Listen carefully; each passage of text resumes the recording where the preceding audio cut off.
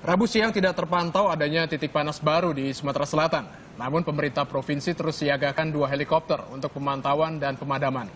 Ada satu unit pesawat untuk antisipasi dengan rekayasa cuaca berupa hujan buatan. Pemerintah setempat juga instruksikan seluruh perusahaan memantau lahannya serta bertindak cepat jika terjadi kebakaran.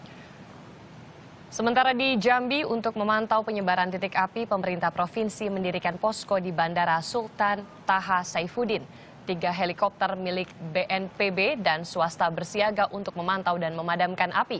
Sepanjang tahun 2016, area terbakar di Jambi mencapai 74 hektar.